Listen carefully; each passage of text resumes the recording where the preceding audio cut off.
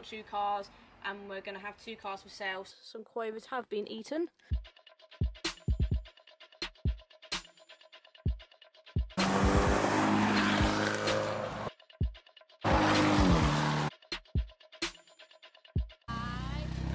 And welcome back to another video. I don't know what the hell is going on with the weather today. I had a jacket on, I've just taken it off and I just had to go and get my sunglasses out of the uh, 124 so I can sort of see what I'm actually filming for you guys. Um, if you're new to the channel then welcome. This is the main reason I started this YouTube channel because um, most of my videos are based on our sort of driveway full of cars. We have a large collection of vehicles here at home and some in storage. Now at the moment I can tell you have a grand total of 19 vehicles that we own as a household, as a family. I don't know why I'm hugging myself. Yes, most of our cars are sort of classic retro cars, um, cars and pieces that we mainly have at home, and the majority of the ones that we own are in pieces or are sort of and our sort of ongoing project cars but like I say I do also do videos on our sort of better cars which is my Abarth 124 Spider my parents Abarth Competizione this retro Fiat Panda VIP the only one left in the UK we believe. Um, and yeah we do have some nice cars on the fleet as well but most of them are sort of old bit tatty and need a bit of work which is ideal for my dad who loves projects and loves cars just like me so if you like that sort of stuff, then why not just take a few seconds to go and click that subscribe button.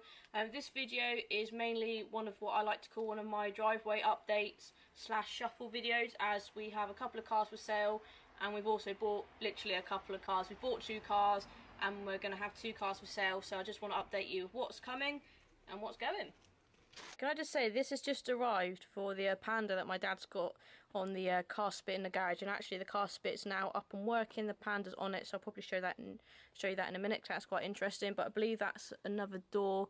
It's probably come from Italy somewhere, but yeah, that's arrived today. So car parts and I thought I was going to have to get rid of the beloved Volvo just to make room on the driveway for our other project cars but it seems that now I have a boyfriend that's actually mechanic and into electricals that means my boyfriend will be the ideal man to hopefully sort out the many electrical issues in this Volvo and hopefully get this back on the road sometime soon. So the Panda VIP is here, not really being used much but it's my dad's little toy and this is where the problems sort of start really.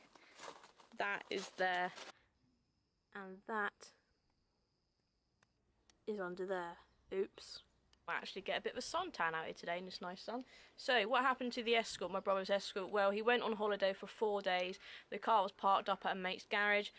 When it came to him leaving his mate's house to come back home here, um, it was driving fine, but then it started leaking oil from the engine somewhere. So obviously some sort of um, seal or something's broken. Um, he didn't want to risk it by driving it home, and because obviously the car was then losing oil and had no oil in the engine, so it wouldn't be ideal to drive a car with no oil in the engine. So he pulled over. Me, and my dad, my boyfriend then went in the Range Rover, towed him back home. So he's now bought a replacement for this car because he needed a car and run around to also get to and from his workplace. This has been sat here for about a week. The idea is he's going to sort out the problem and sell it basically because he doesn't need the car and he has bought a replacement for this. His new car is actually quite funny. um, it really is literally just like what he's going to use as like a run around. He's got no sort of what is people coming past. The car he's bought is literally just a cheap run around. It's tatty as hell. The inside's actually okay. It smells a bit, but I'll show you around that later on when he's home and I can show you around his new car. I see how long he owns this one.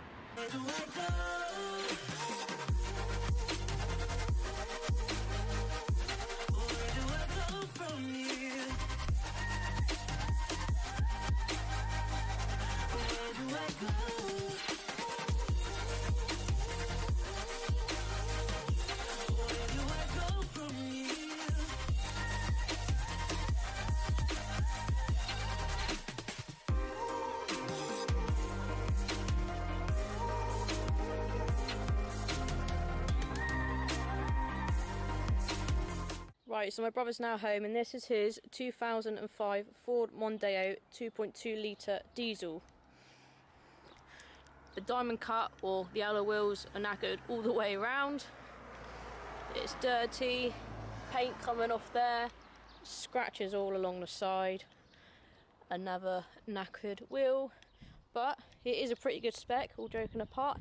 It has got rear parking sensors, it is in this new, in this nicer titanium dark grey colour and it is a titanium.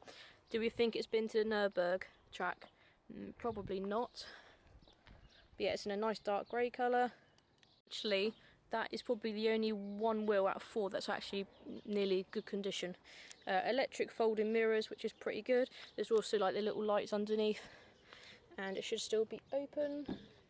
Okay, so the driver's door isn't unlocking. This passenger door isn't that great anyway. You have to you have to snap.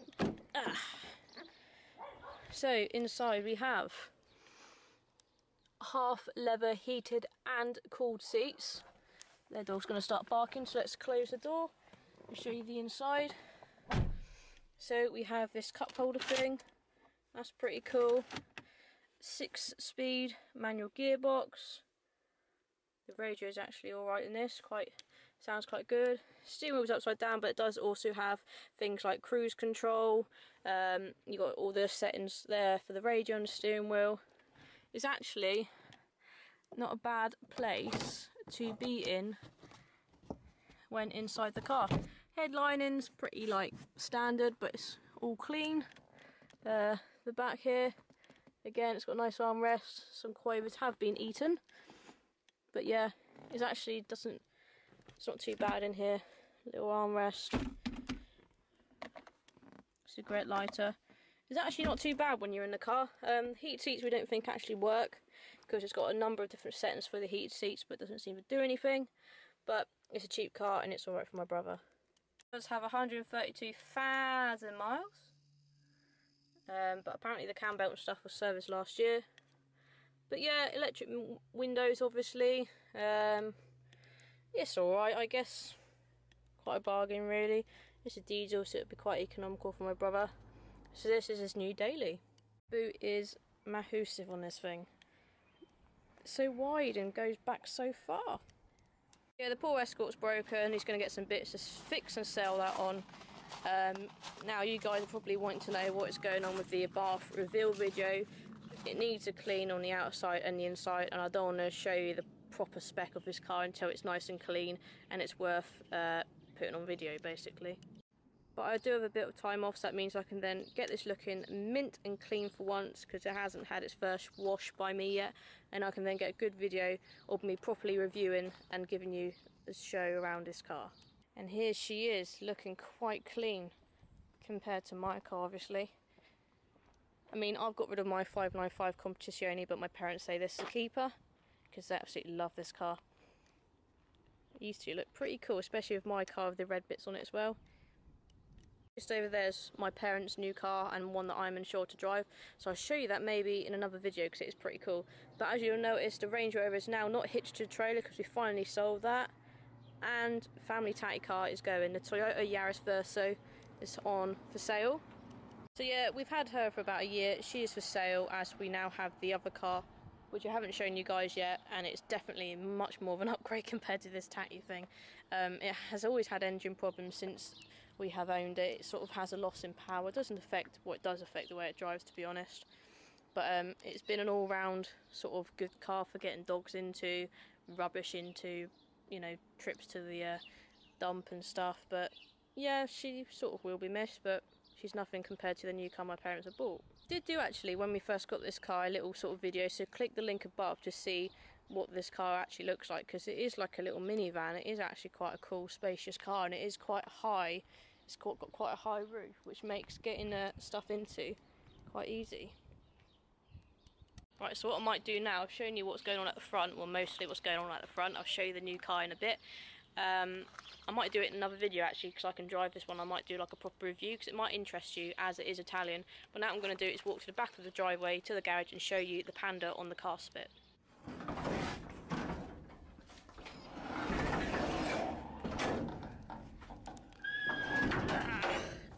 Electric garage door needed.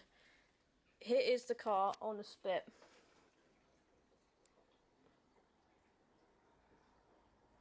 This is what a Panda on its side looks like. Now, we were having trouble spinning it on the spit because we still had the engine in. But now, if I try and show you, the engine should be in there and it's now gone, which makes it a whole lot lighter for my dad to then spin and get the access he needs. This used to be black. I might have put a photo in now of when my brother got it. It's actually my brother's car. Probably told you this before. My dad is really good at welding, fabrication, and this sort of paint bodywork. he sanded it down by the looks of things. Um, this bit makes it easier for him to reach the roof and bits like that. Also the underneath. This is the inside of the car. Wow, it looks totally different on its side. I might try and show you the back, so the underneath. Okay, so I've just gone around the other side and here is the underneath. So you can see he has pretty much painted all the underfloor, or under the floor here. Um, we've got all the brake bits here that he's painted as well. Um, this car actually isn't in too bad a condition, but um, he's been doing work. You can see there, he's probably doing that bit at the moment, trying to weld and cut bits out there. Um, wow, that's where the engine was. Um, it looks like he's been doing some work here as well. But yeah, it's quite interesting uh, what he does. He's also been doing a bit of welding on that seal as well. But these jig things are really handy, especially when you haven't got the sort of space to put off put a ramp in. Of course, he'd like like a four post ramp, but this is the next best thing for a small garage, so you can reach the hard to reach places. My dad has also built this like um, lean-to sort of thing as this is his beloved XR 3i Escort convertible, which he custom painted a few years ago. Again, it's an ongoing project. Well, it wasn't. It was finished at some point, but he's now finding bits to do on this as well. So yeah, and then you have the garage and the spit. So I hope you've enjoyed this video from me giving you a driveway update and showing you our large collection of vehicles. If you have, give me a thumbs up. Uh, let me know what you think of my brother's uh, new Tati Mondeo and um, yeah, so like I say, uh, the Toyota and the Escort is going and we welcome the Mondeo and my parents' new car, which I actually will do another video because I can drive it and I want to give the car sort of proper review like it deserves. It's actually a pretty cool little Italian car. So what do you think that is as well, guys? Leave a message below in the comments and uh, I'll have a read through your messages. As always, and most of all guys, please subscribe to my channel. I am a homegrown YouTuber. I do all the editing myself. I buy all the stuff myself, cameras, and um, I film everything myself. For you, you guys, it's all 100%, I was going to say man-made, female-made by me. So please support me and uh, help me boost up my subscribers by obviously clicking the subscribe button. And I'll see you again, no doubt, in another car video. See you later guys. Bye.